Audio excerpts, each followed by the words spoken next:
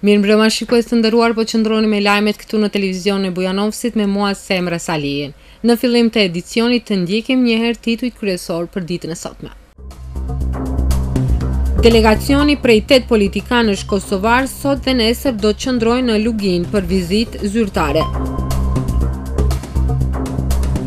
Ministrja Besa Shahini dhe homologu i saj Mladen Sharçeviç takohen të hënën në Beograd.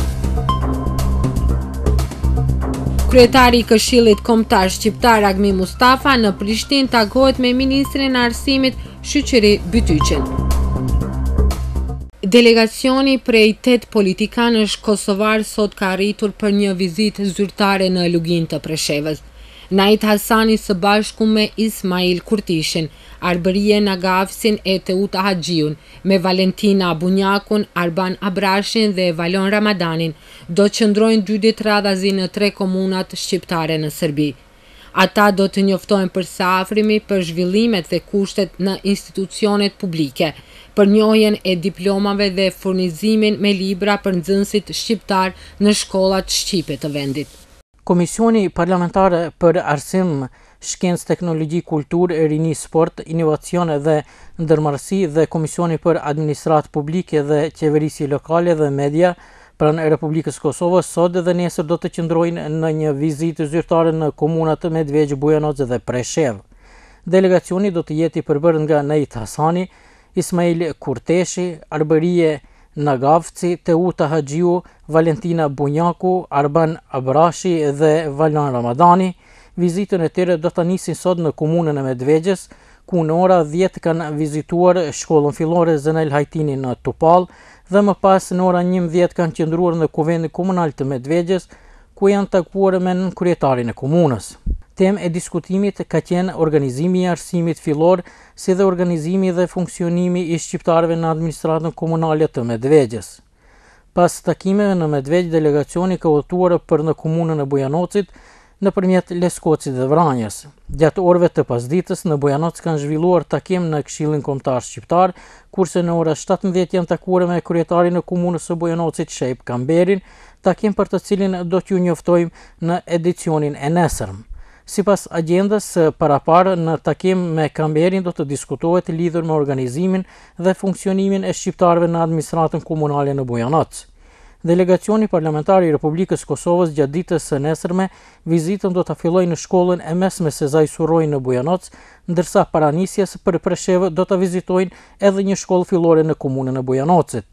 Në ora dymbëdhjetë është paraparë takimi me kryetarin e Komunës së Preshevës, Shqiprim Arifin, lidhur me organizimin dhe funksionimin e shqiptarëve në administratën komunale të Preshevës, si dhe në fund të agjendës do ta vizitojnë një shkollë të mesme në komunën e Preshevës. Vlen të theksohet se në agjendë gjatë kthimit nga Medvegja për në Bujanoc është paraparë një ndalesë për kafe në qytetin e Vranjës. Në Beograd në Ministrinë e Arsimit të hënën është takuar ministrja e Arsimit të Shqipërisë Besa Shahini së bashku me homologun e saj Mlladen Sharçeviq. Siç është njoftuar nga shërbimet informative të ministrisë se tema e takimit kanë qenë tekstet shkollore në gjuhën shqipe për shqiptarët e Luginës së Preshevës. Në këtë takim ka marrë pjesë dhe anëtari i Komisionit për Arsim të Këshillit Kombëtar Shqiptar, Ilir Zulfiu. Pas vizitës së ministres për Arsim të Republikës së Shqipërisë Besa Shahini në Komunën e Bujanocit kohë më parë, e shoqëruar nga ministri i Arsimit të Serbisë Mlladen Sharçeviq, të hënën dy homologët janë takuar në Beograd, ku kanë vazhduar bisedimet rreth teksteve shkollore në gjuhën shqipe për nxënësit shqiptarë të komunave Preshevë, Bujanoc dhe Medvegjë. Sipas një njoftimi nga portali Ministria e Lajmeve, tema kryesore e takimit ishin tekstet në gjuhën shqipe për shqiptarët e Luginës së Preshevës. Në këtë takim përveç dy ministrave ka marrë pjesë edhe anëtari i Komisionit për Arsim pranë Këshillit Kombëtar Shqiptar, DRSC, Ilir Zulfiu. Sipas burimeve të siguruara nga Ministria e Lajmeve, është arritur një marrëveshje, por mbetet vetëm zyrtarizimi i disa teksteve që do të jenë gati për në shtator. Edhe gjatë qëndrimit në Bujanoc, ministrja Shahini pati deklaruar se ky shtator, ndonëse jo në përgjithësi, nxënësit shqiptarë të komunave të lartpërmendura do t'i gjejë ndryshe nga shtatorët e tjerë, gjegjësisht me kushte më të mira në arsim në gjuhën shqipe. Në këtë çështje, sipas ministres Shahini dhe ministrit Sharçeviq, do të angazhohen ekspertë të fushave përkatëse në përkthimin e teksteve shkollore, të cilët do të jenë të përdorshëm për nxënësit shqiptarë tek ne. Këtë vit pritet edhe një takim dedikuar zgjidhjes së problemit të nostrifikimit të diplomave për studentët shqiptarë të Preshevës, Bujanocit dhe Medvegjës, interesim për të cilin ka treguar edhe vetë ministri Mlladen Sharçeviq. Po ashtu, të hënën me tre qershor në Prishtinë është takuar kryetari i Këshillit Kombëtar Shqiptar Ragmi Mustafa me ministrin e Arsimit, Shkencës dhe Teknologjisë, Shyqiri Bytyqin. Ministri Bytyqi ka mbështetë iniciativën e Këshillit Kombëtar Shqiptar dhe homologës Besa Shahini. Ai ka shprehur gatishmëri që të ndihmojë me koordinimin dhe sigurimin e teksteve mësimore për nxënësit shqiptar. Një delegacion nga Këshilli Kombëtar Shqiptar të hënën ka qëndruar për vizitë zyrtare në Ministrinë e Arsimit, Shkencës dhe Teknologjisë të Kosovës ku janë takuar me ministrin Shyqiri Bytyqin. Në postimin e kryetarit të Këshillit Kombëtar Shqiptar Ragmi Mustafa thuhet se një delegacion nga Këshilli Kombëtar Shqiptar është mirëpritur në takim nga ministri i Arsimit, Shkencës dhe Teknologjisë të Republikës së Kosovës, Shyqiri Bytyqi. Mustafa ka shkruar se bashkë biseduam rreth gjendjes dhe sfidave të arsimit në gjuhën shqipe në Preshevë, Medvegjë dhe Bujanoc.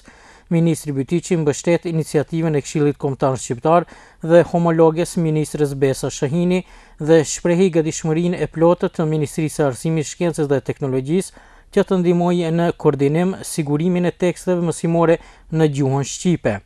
Gjithashtu shqyrtuam disa nga mundësitë e bashkëpunimit të reja me qëllim të ngritjes së cilësisë së arsimit në institucionet shkollore në Preshevë, Medvegjë dhe Bujanoc, përmes inkuadrimit në programet e MASHT-it apo në bashkëpunim me institucione tjera jo vetëm në Kosovë. Ndërkaq kërkova nga ministri Bytyqi të ruhen kuotat në universitetet publike të Kosovës për studentët kandidatë nga Lugina e Preshevës dhe të rritet sipas nevojës, gjë që për të cilën morëm edhe mbështetjen e ministrit, thuhet në postimin e kryetarit të Këshillit Kombëtar Shqiptar. Komuna e Bujanovcit ndan fonde për tre stacione shtesë të antibreshërit, një në fshatin Letovicë, një në Srpska Kuqa dhe një në Llapardincë. Gjithashtu do të sigurohen dhe raketa kundër breshërit dhe me këtë nënkryetari i Komunës së Bujanovcit, Stojança Arsiq, ka thënë se janë të mjaftueshme për mbrojtjen kundër fatkeqësive natyrore të mundshme. Në përputhje me kushtet e motit, situata momentale në stacionet kundër breshrit është në gatishmëri. Në komunën e Bujanovcit janë duke u përgatitur për rindërtim edhe tre stacione tjera mbrojtëse në fshatrat Letovicë, Srpska Kuqa dhe Llapardincë. Për këtë, nënkryetari i komunës së Bujanovcit Stojança Arsiq ka thënë se vetëqeverisja lokale ka ndarë fonde për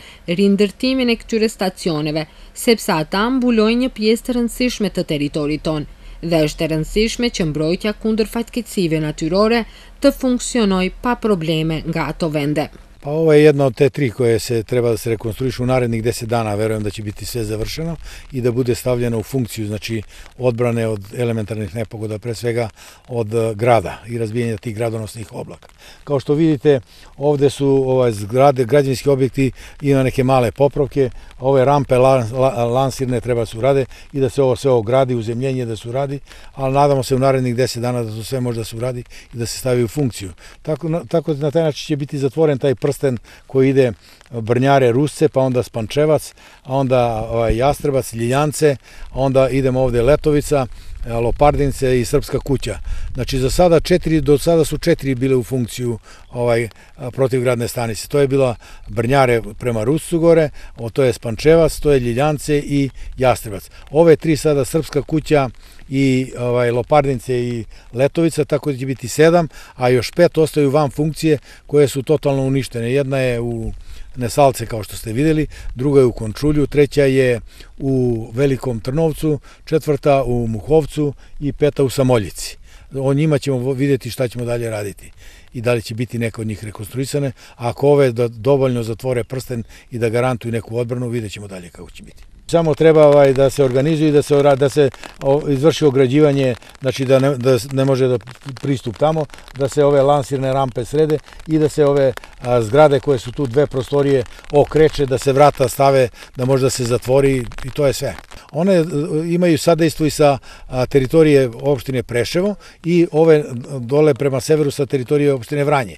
Tako da i od tuda i od ovuda delujemo i na jedne i na druge, znači oblaci koji dolaze iz pravca Vranja ili iz pravca Preševa, deluje i Preševo i mi. Tako da ovaj taj uvezivanje celog regiona. Komuna ka ndarë mjete për blerjen edhe të raketave shtesë anti-breshër përkundër atyre që marrin çdo vit nga Instituti Hidrometeorologjik i Serbisë. Arsiq beson se këto sasi janë të mjaftueshme për mbrojtjen kundër fatkeqësive natyrore të mundshme në territorin tonë. Nga një korriku do të fillojnë pagesat e autostradës në trasën jugore të Korridorit të dhjetë në aksin rrugor nga Dolevci deri në Preshevë me dymbëdhjetë për qind ngritje. Paralajmërimet kanë ardhur nga drejtori i kompanisë Putevi Srbija Zoran Drobnjak i cili ka thënë se përderisa dëshirojmë rrugë të mira ato duhen dhe të mirëmbahen andaj detyrohemi të ngrisim çmimet. Pagesa e autostradës në trasën jugore të korridorit dhjetë i cili është hap në komunikacion do të fillojë sipas gjitha gjasave nga një korriku edhe atë në aksin nga Dolevci deri në Preshevë. Por ajo që është shqetësuese për shfrytëzuesit e autostradës se nga një korriku janë paralajmëruar shtrenjtime të pagesës rrugore për dymbëdhjetë për qind. Kështu ka paralajmëruar për të përditshmen Blic drejtori i Putevi Serbia Zoran Drobnjak, duke shtuar se, përderisa dëshirojmë rrugë të mira, atëherë duhet edhe t'i mirëmbajmë ato. Kështu që duhet t'i rrisim edhe çmimet e pagesave rrugore, tha Drobnjak. Çmimi do të jetë i njëjtë sikurse në të gjitha drejtimet tjera rrugore. Stacione dalëse të pagesës do të jenë Gërdelica, Predejana, Vlladiçin Han dhe Vranjë. Ndërmarrja publike Putevi Serbia e përgatitur është duke pritur sezonin e ardhshëm veror, ku kanë bërë të ditur nga sektori i pagesave rrugore të kësaj ndërmarrje publike. Kjo ndërmarrje edhe më tej është duke promovuar pajisjet e pagesës elektronike të cilat tashmë i posedojnë më shumë se treqind mijë ngasës. Kjo dukshëm i zvogëlon pritjet në stacionet e pagesave të autostradës si dhe është lehtësim i vetëm që ofrojnë rrugët. Pajisja elektronike mund të blihet në të gjitha pompat e benzinës NIS, si dhe në stacionet e pagesave të autostradës, ndërkohë që mbushja funksionon njëjtë sikurse mbushja e telefonave mobilë, por që kryen një punë të jashtëzakonshme, sidomos kur kolonat janë të gjata në pagesat e autostradës. Siç është paralajmëruar nëpër rrjetet sociale se siguria e aksit rrugor të Grykës së Gërdelicës është vënë në pikëpyetje nga Korridoret e Serbisë, ky lajm është demantuar. Ata njoftojnë se ky aks rrugor është i qëndrueshëm për qarkullim. Në rrjetet sociale është shpërndarë informacioni dhe fotografi të cilat vënë në pikëpyetje sigurinë e aksit rrugor të sapohapur të autostradës përmes Grykës së Gërdelicës. Në këtë rast, Korridoret e Serbisë njoftojnë se matjet dhe monitorimi i këtij aksi rrugor është i vazhdueshëm. Stabiliteti dhe lëvizja është e sigurt në të gjitha shpatat e këtij aksi. Strukturat mbështese po kryhen çdo ditë. Në një foto të shpërndarë nëpërmjet rrjeteve sociale, njoftohet se pjesa e rrugës së quajtur Shpati dy, rrjeti mbrojtës është vendosur që nga shtatori i vitit dy mijë e tetëmbëdhjetë dhe nuk është lëvizur prej asaj kohe. Për shkak të sigurisë dhe stabilitetit shtesë, është ndërtuar një galeri mbrojtëse para shpatit të lartpërmendur. Siç është njoftuar më parë, puna për stabilizimin shtesë të shpateve nuk do të ndikojë në qarkullimin e sigurt të trafikut kanë thënë nga Korridori i Serbisë. Pak kohë më parë është bërë thirrje nga Korridoret e Serbisë për vozitësit në pjesën e aksit rrugor nëpërmjet Gërdelicës të shtohet kujdes gjatë kalimit në tunel. Kjo për shkak të sigurisë. Ata kanë pohuar se automjetet nuk preferon të ndalohen në zonën e tunelit pa arsye sepse alarme sinjalizojnë për problem serioz, ndërsa disa shoferë ndalojnë vetëm për të shikuar tunelin ose për të bërë foto. Kjo shkakton mossigurinë e trafikut dhe të vetë personave. Kujtojmë se shpejtësia në autostradë përmes Grykës së Gërdelicës në pjesën nga krahu i Gërdelicës deri në Vlladiçihan kufizohet me njëqind kilometra në orë, ndërsa në tunel shpejtësia maksimale është tetëdhjetë kilometra në orë. me dyshimin se ka kryer vepër penale me kalim të paligjshëm të kufirit shtetëror është arrestuar njëzet e dy vjeçari nga qyteti i Vranjës me inicialet FG në pikën e pagesës në autostradën Nais. Ai dyshohet se ka transportuar dymbëdhjetë emigrantë nga Pakistani dhe Afganistani nga Presheva për në Beograd me veturën Renault, i cili u zbulua nga policia gjatë kontrollit në Nais. I dyshuari ndalohet për dyzet e tetë orë, pas së cilës së bashku me një padi penale, ai do të ndiqet penalisht nga Prokuroria e Lartë Publike në Nish. Vazhdojmë tej edicionin. Trupi Koordinues për komunat Preshevë, Bujanoc dhe Medvegjë ka hap konkurs për shpërndarjen e fondeve. për nxitjen e programit mbi financimin e programeve me interes publik të realizuar nga shoqatat të cilat veprojnë në komunat Preshevë, Bujanoc dhe Medvegjë. Konkursi është i hapur deri më datë njëzet e tetë qershor, ndërsa dy milionë e pesëqind mijë dinarë do të ndahen mjete për këtë projekt. Trupi koordinues për komunat Preshevë, Bujanoc dhe Medvegjë ka hap konkurs për shpërndarjen e fondeve për nxitjen e programit mbi financimin e programeve në interes publik të realizuar nga shoqatat të cilat veprojnë në komunat Preshevë, Bujanoc dhe Medvegjë për vitin dy mijë e nëntëmbëdhjetë. Shërbimi i trupit koordinues mbështet projektet e shoqatave që korrespondojnë me një ose më shumë nga temat e ofruara. Interkulturalizmi, krijimi i klimës së bashkëpunimit dhe të kuptuarit të të gjitha komuniteteve që jetojnë në Preshevë, Bujanoc dhe Medvegjë. Promovimi i vlerave të BE-së dhe procesi i anëtarësimit të Serbisë në Bashkimin Europian. Inkurajimi i projekteve në fushat e kulturës. Inkurajimi i aktivizimit rinor, realizimi i projekteve rinore dhe përfshirja e të rinjve në Preshevë, Bujanoc dhe Medvegjë, Inkurajimi i projekteve që synojnë parandalimin e diskriminimit, inkurajimi i edukimit të popullsisë duke përfshirë arsimin jo formal, sjellja e të rinjve së bashku nga Presheva, Bujanoci dhe Medvegja, bashkëpunimi me shoqatat nga Presheva, Bujanoci e Medvegja, përmirësimi i kushteve të jetesës dhe integrimi në shoqërinë e grupeve të cenueshme sociale, programet dhe projektet në temën e ekologjisë dhe mbrojtjes së mjedisit. Ky konkurs do të ndajë mjete në vlerë prej dy milionë e pesëqind mijë dinarë, ndërsa vlera më e madhe e projektit mund të jetë treqind e pesëdhjetë mijë dinarë, varësisht nga pikët e fituara. Afati i fundit për dorëzimin e projekteve është data njëzet e tetë qershor, ndërsa,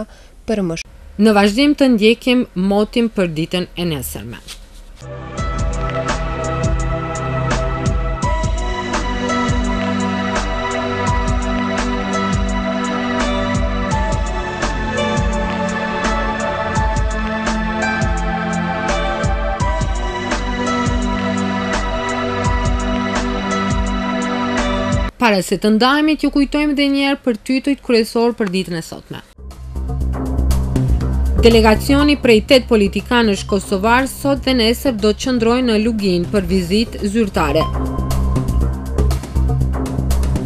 Ministrja Besa Shahini dhe homologu i saj Mladen Sharçeviç takohen të hënën në Beograd. Kryetari i Këshillit Kombëtar Shqiptar Ragmi Mustafa në Prishtinë takohet me ministrin e Arsimit Shyqiri Bytyqin. Unë ju falënderoj për vëmendjen, bashkë mirupafshim.